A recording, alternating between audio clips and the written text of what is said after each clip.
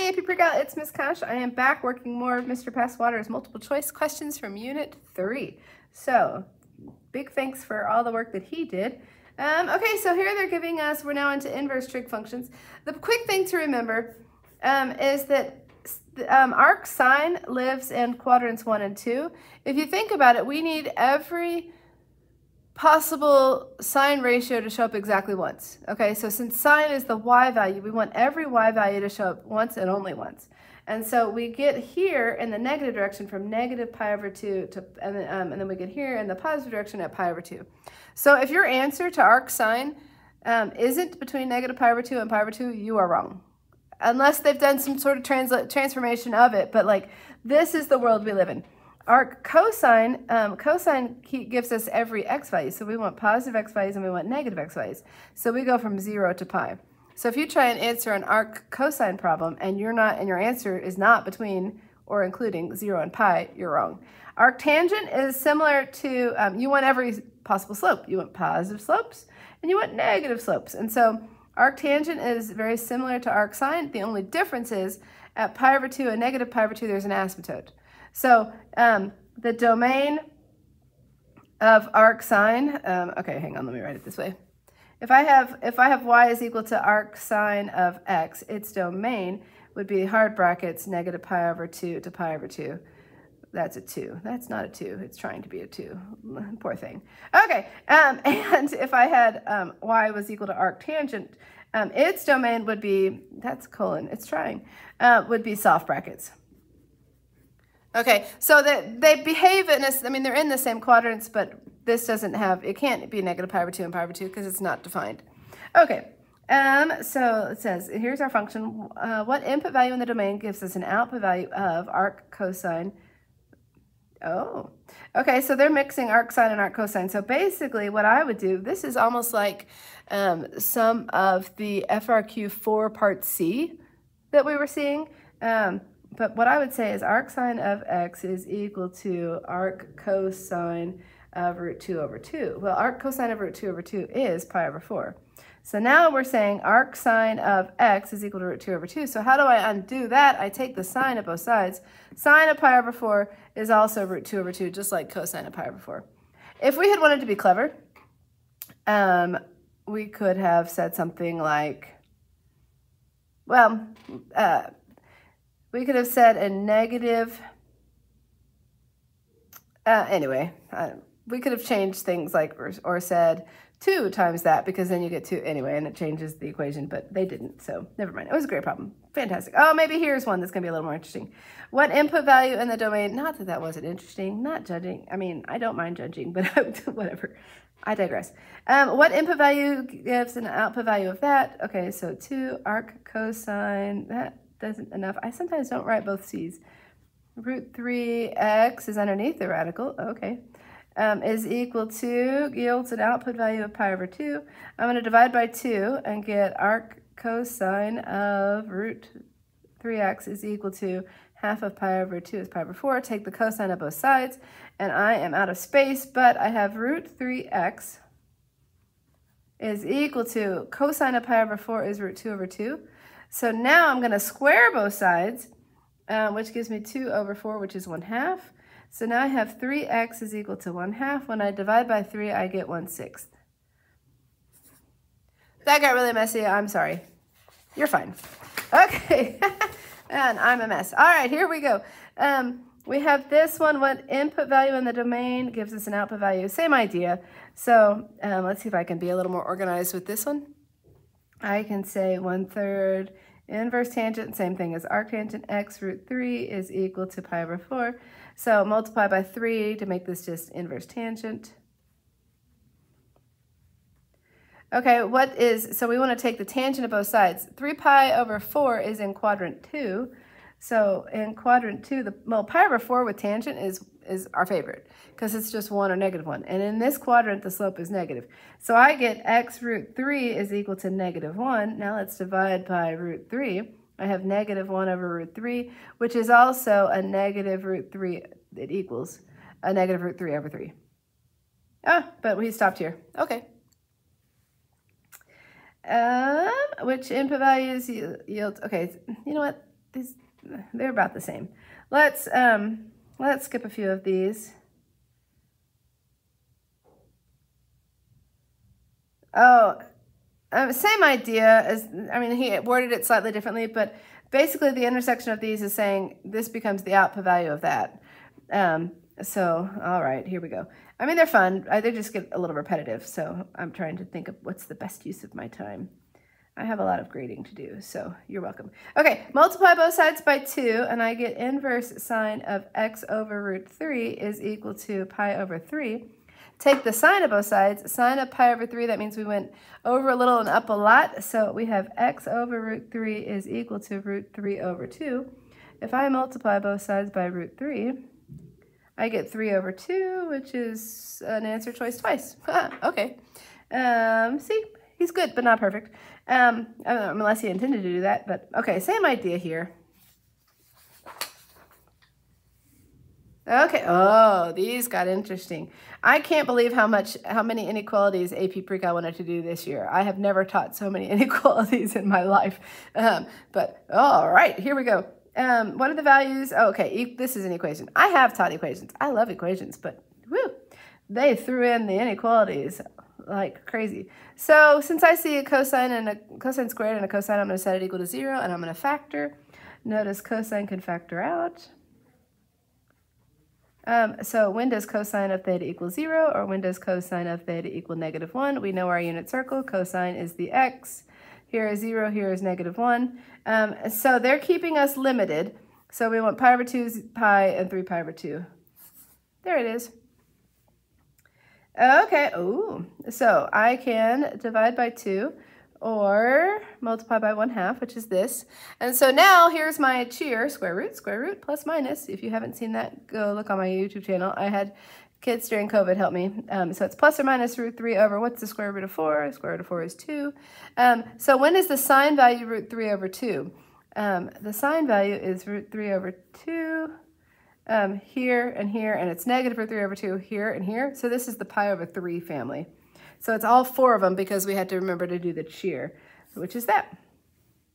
Uh, same idea here. I don't know that that's worth my time. Same idea here. Um, yeah. Y'all, this is the same. This one's a, um, a, a, little bit more interesting. I'll jump to this because it's um, slightly different.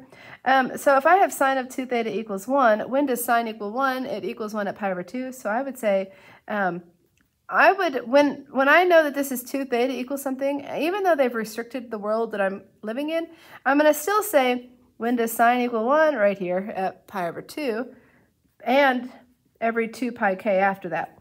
So the reason I'm going to do this, I'll show you why, is that when I come along and, and multiply everybody by 1 half, I get pi over 4, and I get plus pi over uh, plus pi k.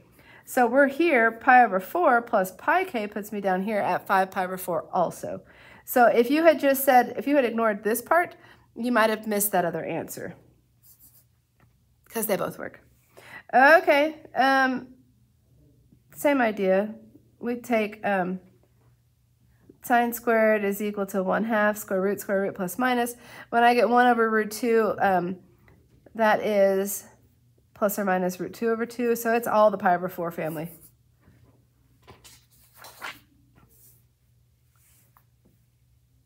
Is that the same problem? Okay, well, whatever. Um, so now we're going to set these two equal. 1 minus 2 tangent of x is equal to 1 plus 2 root 3. Um, the 1's cancel. I can divide by negative 2. So tangent of x is equal to a negative root 3. And so tangent, I always think about slope. So my slope is zero, my slope is undefined, my slope is one, and my slope is negative one. So that's uh, zero and pi, that's pi over two and um, three pi over two. This is the pi over four family that I've drawn in. And so the only thing that's tricky is um, my, my other two slopes to think about are root 3 and then root 3 over 3. So what is more steep? Root 3 is more steep, so root 3 is the pi over 3 family. Since this is a, and then um, the less steep one, oh, that gets messy, is the pi over 6. Um, so, but this is negative, so we're looking at 2 pi over 3 and 5 pi over 3 right there. Um, this is what we wanted. These two right there, ish. That's badly drawn anyway. Okay, the intersection of these. Okay, so if I have sine of x times tangent of x is equal to sine of x, I would set this equal to zero. And I would, starts with an F and ends in actor. Uh -huh, I'm so funny, you just have to ask the right people. Um, just kidding. Okay, sine of x equals 0, tangent of x would equal 1. When does tangent equal 1? Um, pi over 4. And so it's x equals pi over 4 plus pi k. And um, what happened? And then sine of x equals 0 at, at um, well, pi k. So 0, pi, pi. Um, I think, I wonder if um, he forgot to change his answer choices. I do that sometimes. I copy and paste. Notice that he had the exact same answer choices. Um, so if we were going between 0 and 2 pi, we would have we would include 0, we would include pi over 4, um, we would include pi, we would include 5 pi over 4. Since this is not equal to 2 pi, we would not include that, but um, my guess is that um, he's going to clean, he'll post this again after he catches that, that he copied and pasted and changed things and forgot to change that. But this is the right answer. Um, how am I on time? Okay, let's do a few more. Um, this one, so we've got the zeros. So 1 plus 2 sine x is over cosine of x is equal to 0. So when does this equal 0? Well, it equals 0 when the numerator equals 0. Um, but we want to make sure that the denominator doesn't also equal 0 because you're not Chuck Norris, you can't divide by 0. So let's see, 1 plus 2 sine x equals 0 means sine of x would equal negative 1 over 2 is negative 1 half. When does sine equal negative 1 half? Um, that is, we went down a little, so can you see my, um, so that's 7 pi over 6 and 11 pi over 6. And that showed up here. Well, and cosine would equal 0 at um, pi over 2 plus pi k. So we are fine. Um, super.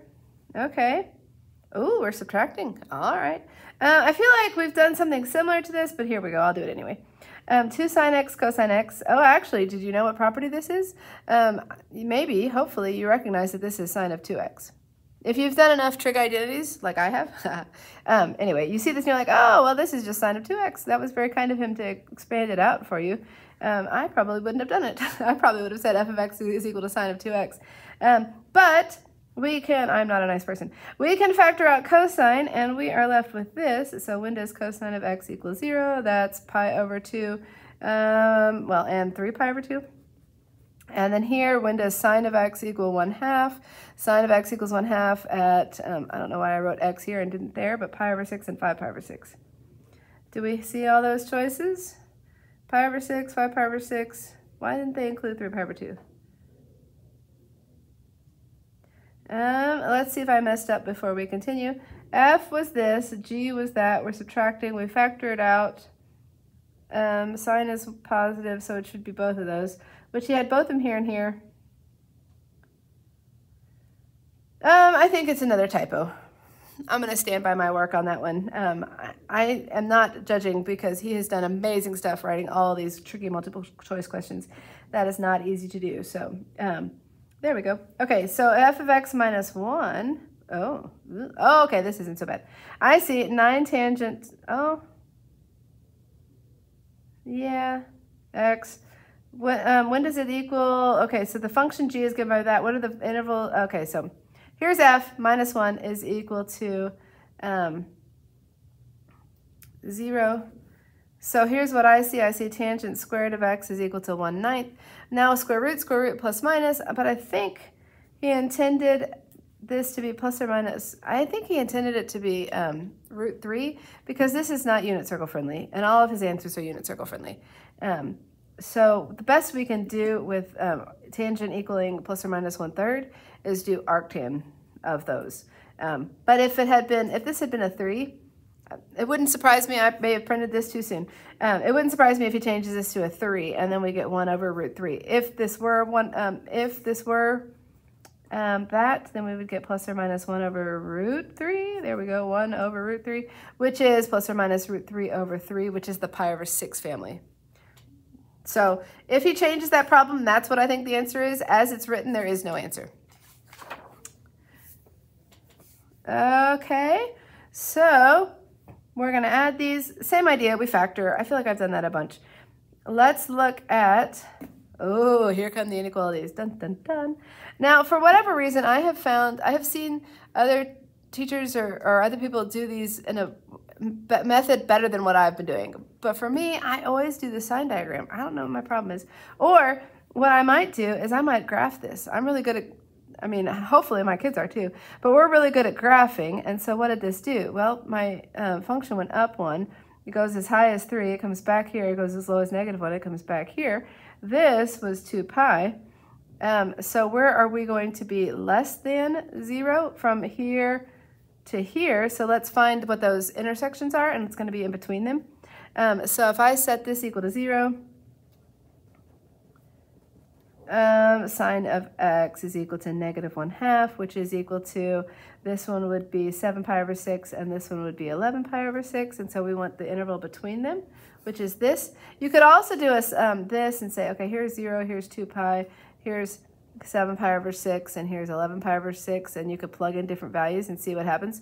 But knowing the graph on this one was significantly easier, in my opinion. Um, okay, ooh, we want to know where is f greater than g. So I'm going to solve to see where is f equal to g. um, when does cosine equal root 2 over 2? Cosine equals root 2 over 2 at, um, at pi over 4 and then at 7 pi over 4. Um, okay, so what I might do, okay, here I might do it this way. Say 0, this is, this is pi over 4. This is 7 pi over 4 somewhere out there. And then this is 2 pi. So we want to know um, when is, well, if I plug in pi over, if I plug in pi into both equations, if I plug in pi, I get cosine of pi is negative 1, this is negative 2. Negative 2 is smaller than root 2. Um, so we wanted f to be bigger, so this is no good. None. I don't know why I wrote that. I wanted to write nope. okay. Um, I can, so what's going to happen is it's going to be these all right here because basically um, my cosine graph will look something like this between 0 and 2 pi. And so um, where was it? And then root 2 is going to be somewhere up here. Um, so this would be happening at pi over 4, and this would be happening at 7 pi over 4. And so that's where the f was the curve over the line. Um, and so we go from 0 to pi over 4 and then 7 pi over 4 to 2 pi. Yeah, these are, these are, I mean, it's good news, bad news that there's different ways to think through it. Um, knowing the graphs, I think, is huge. Um, but there we go. Let me do, I'll do this last one and then we'll come back for another video. Um, okay, so we want to know, well, let's see where they intersect. Negative 2 sine x equals root 3. So sine of x equals negative root 3 over 2. So think unit circle. This is uh, 4 pi over 3 and 5 pi over 3.